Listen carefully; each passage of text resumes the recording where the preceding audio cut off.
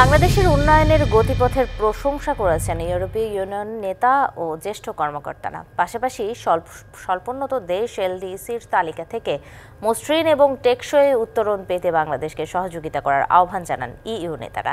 অংশীদারিত্বের পঞ্চাশ বছর পূর্তি উপলক্ষে বাংলাদেশ ও ইউরোপীয় ইউনিয়নের মধ্যে এক বৈঠকে এসব কথা বলেন ইউরোপীয় নেতারা।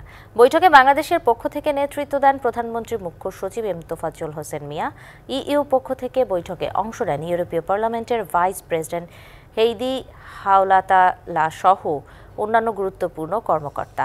বৈঠকে বিশ্ব অর্থনীতিতে চলমান চাপ, খাদ্য ও জ্বালানি সংকট এবং নানাবিধ অস্থিরতায় আন্তর্জাতিক বাজারে বাংলাদেশের জন্য জোরালো সমর্থনের অনুরোধ করা হয়েছে।